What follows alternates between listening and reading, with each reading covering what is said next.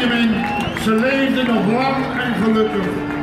Van de sneeuwkoningin is nooit meer iets vernomen. Maar er wordt gefluisterd dat ze vele gedaantes gaan aannemen. Dat ze alles zal doen als het zicht op liefde, geluk en schoonheid te.